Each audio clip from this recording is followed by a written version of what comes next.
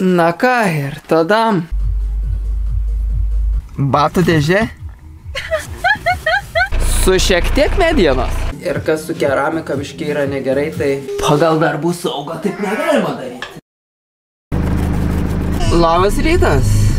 Ant penktadienis. Pusė laipsnio. Šilumos. Oi ne, ne šilumos, o minuso pusė. Mes dar su vasariniam padangom. Tai blogai. Žiauriai blogai. Reikia parašyti, kad, kad biški vėluosime, ne? Kelias minutės. Nereikia. Dar normaliai ir. Mūsų miestelis kalėdinis, visas apsnigęs, toks baltas. Palada visą šventinę praėjo. Ai nu. Nu bet vis tiek, važiuok, lapai auksiniai. O jie apsnigę. Nesu tokio vaizdo matęs per savo gyvenimą. Ir taip gražiai būtų, ne? A, tikrai. Auksiniai lapai ir, nu, nu gražu. Kaip sekės daržė palikti? Labai sklandžiai. Labai sklandžiai? Aha. Ar taip pat kaip man tas dvi dienas, kad atėjau ir, Jo, be jokių verksmų, nieko gražiai apsimovėm, batukus, ir dinga vaiks. atidariau duris ir ramiausiai savieje. Tai kadangi jau dabar laisvo oro direktoriai, tai atvažiavam šalia statomo namo paieškot medieną. Ir laputėje per kelią, Na, bet nepagavau jau. Ta pati noriu sakyti. Nu, tai va, važiuojam Kaip keliu? kažkur. Žiauru. Naujai irgi statomų namų yra. Kažkur man žmogus rašė, kad čia medienos yra nusipirkti. Jeigu tik reikia. Tai klajojam. Arba reikėjo numerį to pasiskambit, kur buvo ant tvoros. Tai reikia važiuoti. Pasiskambinti. Bet nesu buvęs čia, tai noriu dar biškai pavažiuoti. Pakrušt mašiną. Paklajuoti. Ir nuvažiavau į seniūnyje. Sakau, su seniūnu pakalbėti dar nesu susitikęs. A, dėl to mūsų keliuko, ar aš galiu jį ten kasti. Tai nėra. Pusė penkių ar keturių tik bus. Eina savo, kiek namų tiks naujai. Kosmos. Pusę dienos skirsim tiesiog važinėjimai po parduotuvės. Būtent. Kai reikia kažkokią šuduką, ne? Pusę dienos važinėjai. Pavyzdžiui, kaip šampūną. Nu, išpylė man tą šampūną Melisa, nu, į... nerandu dabar to šampūną. Kokią norit. Kokią aš noriu. Tai su Melisas gal, galvą plaunu, tai jau ant tiek šiaudiniai palika šiaudai. Tai kaip Melisa plaunas galva. Jos da jauni plaukai. Nu jo. Ir kaip jin sumastė, pirmas tik sumastė buvo pusę butelių, kada šampūną likusi. Tai sumastė vandens pripilt. Na gerai, su to atskiestų plovus, nu. Ir kitas tik nepastebėjau ir visą išvarė. Nu, žodžiu.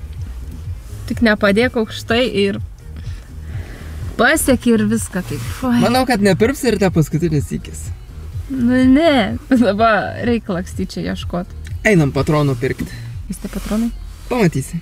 Tai aš nusipirkau šampūną, bet kitokį išbandysiu, nes jau atsiboda ieškot. Nu, Ir aš santechnikos šiek tiek dar. Ir va, sakiau, kai yra. Čia pirinioskė yra. Patronas. Patroniukų. Nu, va, taip, lempa tai, bus e, kabės. lempučių tai nepažiūrėjom. Tai ermitažą. Tai ką, lekiam. Prisiminiau po dviejų dienų pertraukos, kad žmogus kažką siuntė, siuntinuką. Įdama net nespėjai pasigirti nieko. Man ir vėliai net nespėjau pasigirti. Ai, tu- nu, kad atrodo ryts vakaras, ryts vakaras. Aš penktadienį pirkau vamšius, o jau vėl penktadienis. Tai sakau, negaliu, tas laikas per greitai eina. Tai varom, pažiūrėsim, kas ten tam siuntinukė yra. Va. Gerai, nori? Mhm. O gal jo nebėra, aš gal, gal aš čia kai taip greitai, gal jis pirmadienį buvo tik 3 dienos paštumėte laiką. A.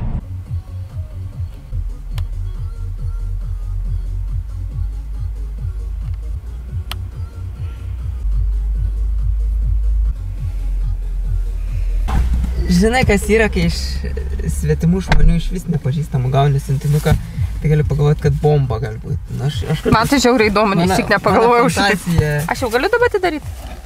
Daryk. Mano fantazija yra per daug lakė. Žiauri tavo fantazija. Kas tau čia? Kaip plėšrūns koks? Žiauriai Su įdomu. rak- Nieką nesakė, nei ką. su raktais. Eina, Tai net visiškai nenutokė. Jeigu būtų bomba, tai gal būtų jau susprogus. Nebent užtaisyta. Batų dėžė. Rimtai. Nelisa gavo žaislą. Rankytė muzikikė. Taip tiesiog įjung. Pirmas lygis. Pažaiskime. Pažaiskime.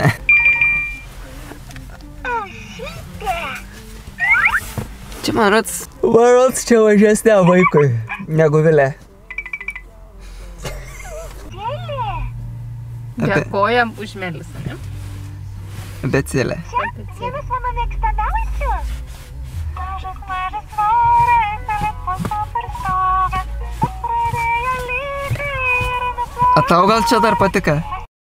Eina, eina. Eina, eina. Uba, kiek tavo striukė suplyša. Ką? Naujas triukė.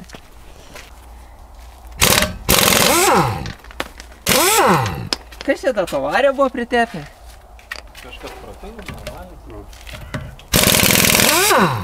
Dabar jau galėsiu jaustis saugesnė, nes vakar su vasariniam taip, nežinau, nedrasiai jaučiausi važiuodama. Tai Na. šaunuolis vyrs. Padaryk patikrą čia. Kokią patikrą man žiauri ranka šalą, aš einu arbatas gertų, tu kaip tikras, tikras vyrs dirb. A. Bet tai kad čia visko mažai. Čia pasatui tai čia pilna visokių traukikių, tų šitų. Nes čia dalykų. nepilna komplektacija. Ai, nu, gerai sakai, rim. Pietus ir vis dar ne. Nutirpo sniegas. Nukeista. Ui, ui, kaip šokinėjom, net filmuoti nesigaun. Ir e, ką su pad, naujom padangom, tai yra senom, bet žieminiam, nu, tikrai maloniau važiuojas. Nėra to tokia, nu, daug minkščiau vokas yra. Būtent aukšto profilio padangas yra aukšta. Su juo maloniau važiuoti. Jau po pietų gerokai, o mes dar, aš atsiminiau, kad vidosą nemontavau. Nes šiandien rytą- noriu savas. Šiandien rytą šūtins ryts buvo. Melisa visą naktį davęs, davęs, davęs. Pas davęs, mano davęs. mėgoja šią naktį visą naktį. Važiuojam į šiaurę. Bet taip ir yra. Bet kaip pusta, grinai kaip gruodis. Net nepasakysi, kad dabar spalis. Sveikučiai. Ai, šiandien penktadienisgi. Čia an- antrą dieną tęsis išėlėsgi.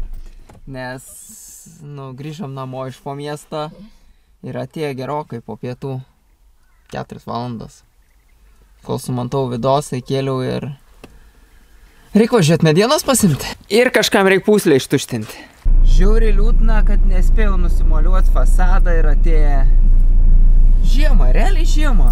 Nu, pas man tokios žiemos ir būna, kad ryte prisninga, pašala, o va vakare ištirpsta ir plus, plus vienas. Na tai arba dvi savaitės minus 10. Tai va ir realiai dabar žiema, rudenė atėjo žiema ir per greit. Kaip ir vasaros, niekada jos nebūn per daug, niekada. Ir visada, visada jinai išein per greitai. Na tai ką, nespėjau sutemti, nespėjau užšalt, grįžau namo su šiek tiek medienos. Tai kai samatą skaičiavau, biški netiksliai skaičiavau. Nes... e, Wow, wow, wow. Nes pasirodo už medieną 65 eurai. Už terasinę medieną tada transporto nepriskaičiavau, tai gaunas 220 eurų. Ir... e, Na vis tiek. Gaunas 200 šiandien. Na, 300 eurų terasa. Tas mūsų gražuolis skraida kartu su zilutėm. Šiandien didžiuliam prekybos centre, kur pirkom šituos patronus, nusipirkau šikanui tvirtinti. Tokius rimtus metalo gabaliukus. Nu, atrodo, jie nestori, bet nu, iš vis jie tokia rimtumo. Patys rimčiausi dalykai, kurių radau. Nu, buvo ten tokių plokščių, Lygiai tokie pat, tik tais tokie stambus. Man tokių nereikėjo. Tai čia nestoga tvirtinti. Tai šikaną tikrai laikys. Čia pora dupelių, pora čia. Ir ką tu, nori svečius, nori svečius. Na ir pamatysim, kaip tas šikanas laikysis.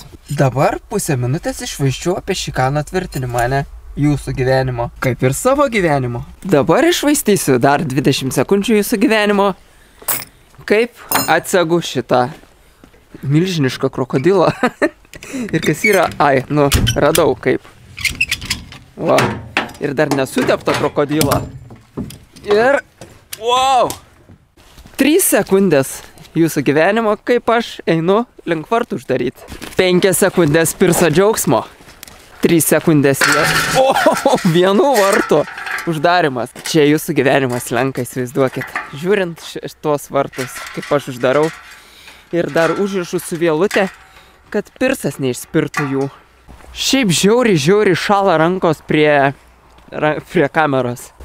Tai pirmas, ką padarysiu, einu pečių užsikursiu. Eina šik čia tokia atgaiva užeiti. Bet tik 16 šilumos. Bet, kaip pasakyčiau, tokiam D klasės namelyje labai gerai. Na, iš palauko tikrai tokia atgaiva čia. Tik tais vakar mediena matos nesudegė. Fains dalyks ta krosnelė yra tai, kad visų pirma, tas ugnies traškėjimas taip jauku. Antras dalykas tai, kad jinai orą šildo ir, ir jau po 20 minučių gan jaučiasi šiluma. Ir kas yra neperkaitina. Nu, pusė vis tiek šilumos yra į grindis. Tai vat ir jeigu tu tik, kur būna ta tiesiog krosnelė, be vandens kontūro, tada taip. Tik užkūrei ten, prie pat net negali stovėti, ant tik veidą degina, o čia, nu, jaučiasi arčiau šiluma, bet ne karšta.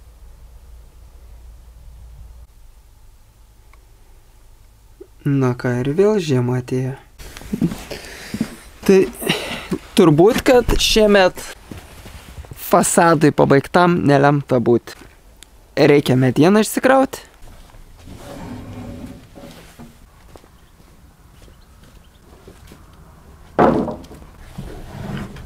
Žadėjau aš tą medieną nudažyti su kuo nors, bet nežinau, nežinau, tokia drėgna. Tai, nu dar per naktį pagalvosiu. Beje, kol šeiminos nebuvo, tai supirsiu čia ant kilimuką atsisėdau priešais tą langą ir tokiam snaigiam didžiuliam snigo. Ir abu tiesiog mėgavomės liepsnos spra spragėjimo ir, nežinau, tiesiog valandžikę tokią ramę apturėjom. Ir turėjau žiauriai, žiauriai senai nusipirkęs šitas lemputės. Kažkur jų daugiau turėtų būti. Ir galvoju, ar tie patroniukai tiks, ar ne. Na, tada, da. Lemba tinka, žiūrėk. Bam. Kaip, ne per mažas? Lemputės. Man rodos, kad pats tas. Žiūrint, kaip švies. Na, einam tikrint kaip švies. Na, o kol čia patikrinsim kaip švies, tai čia dar turbūt daug laiko turės praeiti, nes reikia pasijungti čia viską, pasirodo. Ir kas su keramika biškiai yra negerai, tai... O jinai trapi. Na ir ką, buvo laikinai pajungta patikrinimui šitą lemputę. Gal biškai per trumpą? Ne kiek per trumpą, o kiek... Nežinau. Ryški? Jinai man čia nelabai žiūris. Norėtus pačią to stiklinę daiktą gal didesnė. Nes Jo. vakar šita laikina Geriau lemputė geriau atrodė nei šita. Mm. Nes, nu. Didesnis daiktas gražiau atrodo. Tos ovalios tokias gerai atrodytų, ne? Na, bet į biškį Kur? labiau šlindus gal. Na taip, iškiš čia pareguliuoja taip, bet pats tas daiktas, va. Mm. Na, Kur mes praeitoj savo terasai, atsimeni, kokį turėjom? Tai gerai atrodė, ne? Ir jos buvo, va, būtent tos apvaliosios. Tai reiks pirkti a, tuos didžiuosius patronus ir dėtas didesnės. Aš jaučiu, kad be reikalo tos įrankius čia atsinešiu, tai bent jau kada atsinešiu, reikia atsidaryti savo stebuklingą auksinę dėžutę. Dinda nenaudota? Vieną kartą naudojau. A, Ir a, matos, kurį naudojau šitą. dar toks. Atrodo kaip levelė užtraukta. Tai va ir dabar nežinau, kurį rinktis. Na, sakykim šitą. Tai montuosi video, sakysi Vilę, kur tu žiūri su kamera, bet niekad. Čia yra tas prailginimas. Aš prailginsiu per dar vieną prailginimą. Taip, va. Jau tikrai užteks. Kažkas žiauraus, ne? Čia euro. Bet taip reikia daryti. Bet žinai, kuo prastai įmontuojams uh, klozetas? Na, Negalėsite pinigų slėpti. tai kaip tik galėsi jungtuką iškelsi, atsisuksi čia ir slėpsi. A, nu Bet gerai. iš viskas nors pinigus slėpti. Filmuose? Tai tik filmas. Nes didelė rizika, kad jie supelys ir bus nebenaudingi. Reikia pasitobulinti savo šitą va. Tai užsiimsim šitų dalykiukų patobulinimu, kad tilptų toks varštas. Šiaip nedaug trūksta, ne? O čia tas, kaip manai, bus kaip tik? Kaip tik. Pagal darbų saugą taip negalima daryti. Bet ką padarysi, ne? Gal nutraukti koją šiaip.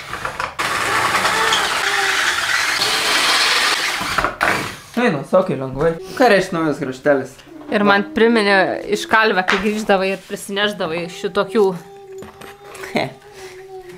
Vogdavau spiruoklės, vogdavau. Ten jos gražios būdavo. Tik ten nutekinimo, tokių mėlynių. Jo, jo, ir labai aštrės. Nu, tas tai jo. Aš galvoju, kad kažkaip nesklandžiai čia viskas bus. Laikiklis yra. Dabar varštą pabandyk įkišti. Ai, nu. Per anksti džiaugiuosi, ne? Žiūrėk, tobulai. Čia yra aštuonius rėgis, aštuonių graštą. Tai reiškia, aštuonius rėgis atitinka aštuonių graštą.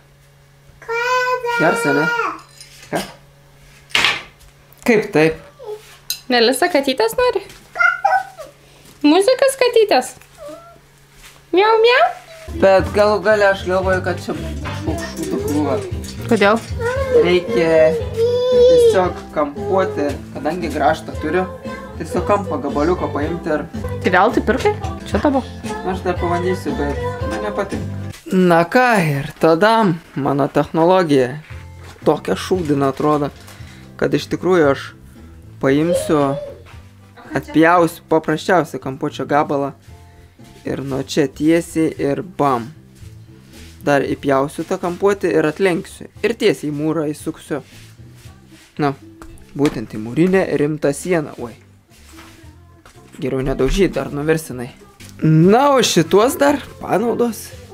Plius čia 2,5 euro užsumokėjau už abu du, tai netai baisiai. Ir supratau vieną dalyką, tai kad jeigu nuo ryto net važiavai čia ir dirbti nepradėjai, darbo nebus. Bet šampūną nusipirkau. Tik ne tokio, kur norėjau. Bet išbandysiu naują. Ir aš patronų nusipirkau, kurių nenoriu aš čia matyti. Tai va, aš galvoju, kad maži čia tiks, bet ne, pasirodo stambesnė vis tiek.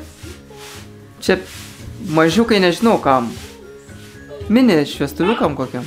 Ir laikinai išsiemiau šviestuvą, pakabinau ant laido ir vonios apšvietimas. Realiai labai išmanus šviestuvai. Laukiu, nesulaukiu rytojus, gal reikia važiuoti namo. O kas tai bus? Terasas turi stovėti. Tai jau gali šią naktį daryti. Ne, kaupti jėgas, reikia važiuoti namo ir viskas. Prie cepelinų, kebabų, kuotletų. Prieš miegą? Jo, kad būtum stiprus ir tai. Na, bet dar valandą pamedituosim čia, nes kažkas prisimėtė šlapių malkų ir negalima važiuoti, kol nesusikūrens. Nežinau, kelintas vakaras iš eilės jau šitaip. Tipu tapu, tipu tapu, trečioje žys be batų. Ir kaminas neblogas. Mūsų šnipas juodas, juodas, juodas. Kadangi šokiai vyksta, tai sakau, nu, a, taip pat taip, čia esam, kol susikuriant žydinys. Razetę pasibandysiu pajungti. Dar šitokios nei vienos nejungiau. Nėra čia ką jungti. Pliusas ir minus. Tik aš nesuprantu, kam aš tą skylę padariau. Nes šitas tvirtinas tiesiog prie sienos. Kaip ir šitą tvirtinu tiesiog prie sienos. Kaip ir čia tvirtinsis jis tiesiog prie sienos. Kam tas skylės čia padariau? Čia užtekė būtų laidukui skilutės. Jau kažką tu čia greuni. Va, Ką būtent. tu nugriovai. Ne kažką greunu, o čia buvau atsiplėšęs šitą kampą ir įsisukau medinę lentelę, kad galėčiau padaryti va šitaip. Ai, tai veltui skylę darai? Ai, šiek. Šiek mikro, mikro varščiuko. Dėl to man nepatinka keramika. Suskime atvaršiai ir tai netinka. Tai ką aš čia turėsiu su vienim prikalti? Na jau sulaužiau viskas. Tai kaip dabar tvirtisi? Paklibėsi, trauksi kiekvieną kartą turėsi blablabla. Jau vien, vien įrankiai sako, vien daiktai sako, važiuok tu namo penktadienį, alaus įkal geriau. Tai jau viskas kraustais. Kol daugiau ką nors nesulaužiau, ačiū, maunu namo aš. Jūs kaip norit, renkia čia tapečių. Tai pats- su Melisa važiuok. Ai, tu Ir pirsiu, o aš grįšiu vieną. Na gerai, tada pasako to kolegą. Ne, aš nemoku su bėgiais važinėti. Gal kas turit tokį pakrovėją besimėtantį nereikalingą už pusę kainos nupirkčiau. Tai parašykite, jeigu ką. Nes visiškai atsibodo laukti, kol viena baterija pasikraus. Jungčiau abi krautis ir būtų daug daug greičiau ir patogiau, nes, pavyzdžiui, ant grandininio pjūklo man reikia dviejų baterijų iškart pakrautų. Tai dabar turiu laukti, kol viena pasikraus, po to kita. Bet turbūt ir pirksiu naują. Jeigu neatsiras. O šiaip tai būtų patogiausia nusipirkti dvigubą iškart pakrovėją ir būtų geriau. Yra į toks. Jo, yra net mačiau Kinijoje ir keturgubs, keturias baterijas susikišti. Tai va, ačiū, kad žiūrėjot ir 爸爸